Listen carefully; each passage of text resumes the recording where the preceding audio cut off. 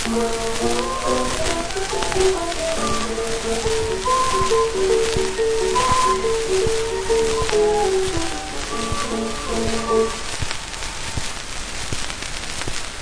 調子祭りはフランスは拷問愛者においての傑作と称えられました。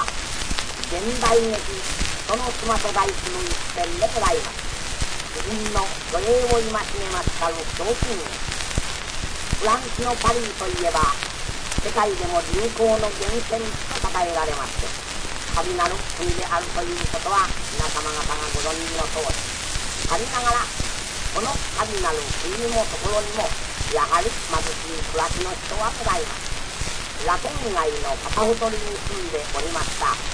保険会社に勤めておりますモーリスという人がありました。大君との間に2人のお子さんがあります同僚は娘さん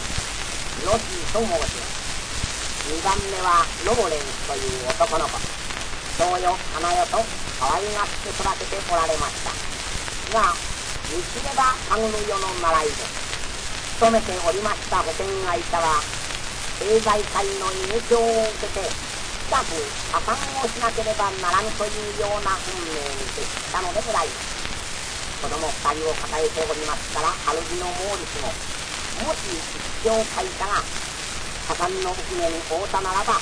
自分は正しい神習得の道を求めなければならん。このことについてのみ非常に心を悩ませておられたのでございます。しかるに海君はかかる家庭にも似合わず非常に治療が麗しいまた本性も優れてきれいでございます。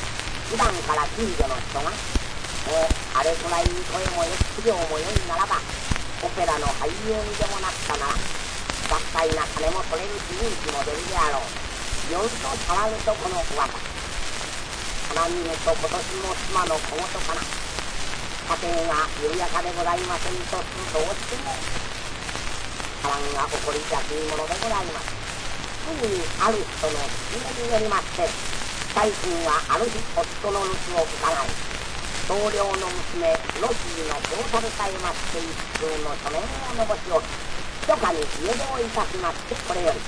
パリ大一流の劇場として知られた。オペラコミック劇場への出勤